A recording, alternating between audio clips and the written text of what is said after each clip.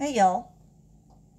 It's um, Thursday evening and Steven's had a meeting at church at the church building, so he's um, going to be late tonight. So I usually do breakfast for dinner when he's going to uh, be running late, um, either fix bacon or I've got leftover sausage. And since I'm going low carb, um, I'm fixing waffles, but they're made with a different kind of flour. Um, a lot of y'all know what garbanzo beans are. Well, they grind those up when they're um, they're dry and make a flour. And usually you get it at, the, an uh, Indian market. You might see it as besan or gram flour. Um, works really well. You see I make pancakes with it, but tonight I'm going to try waffles. I never have made waffles with it before. But with the recipe, um, it's a cup of garbanzo bean flour, um, Whole Foods has had it before in the uh, bulk section, but they don't always have it. Um, so I stopped at the Indian market. Um, we have some in Katy and got that. So one cup of garbanzo bean flour, a teaspoon of baking powder, and a fourth a teaspoon of salt. And it calls for almond milk, and it seems to work better when I use almond milk than when I use regular milk. So I'm using the almond milk. This is unsweetened vanilla flavor. Um, one cup of that, one egg. And for the pancakes, it's one tablespoon of oil. Normally when I make uh, waffles with the same recipe with the regular flour, um, I use two tablespoons of oil because a you know, waffle's crispier um, and that um, seems to do better. And then one teaspoon of vanilla extract. And when you mix it up, it's, um, it's very thin, like uh, crepe batter. In fact, um, you can actually make the bread that they make with it. Very, very thin.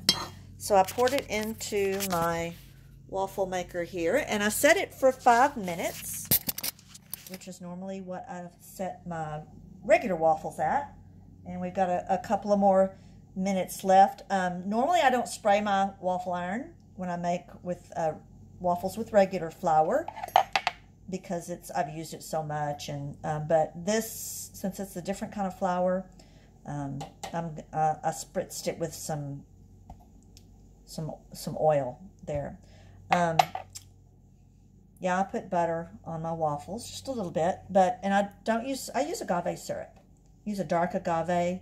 Um, it's a low glycemic sweetener. You uh, it's like you can't use a ton of it because um, it it still is sugar, but I haven't had any sugar today, and I've had my no sugar headache that I always get the next day after I go off sugar. So I know it's working.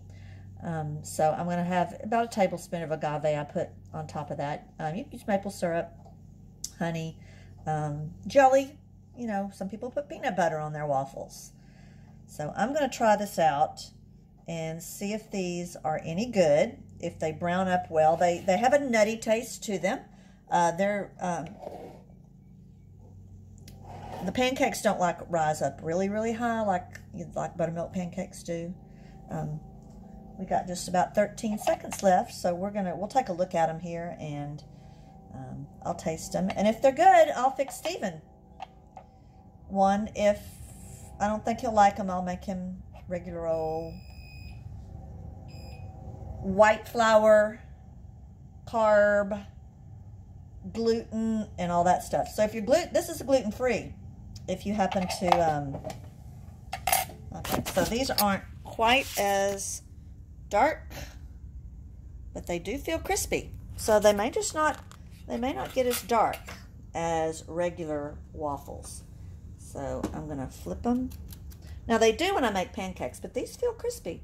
And I, I don't want to burn them, so, and they didn't, get my plate here, they didn't stick, which is great. That's always a problem uh, these are full of protein because they are beans.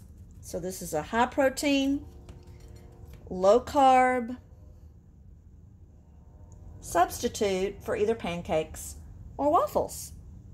So if you happen to have um, a Whole Food uh, near you where you might can get the garbanzo bean flour or an Indian market, um, you might try out garbanzo bean flour and look up recipes for them.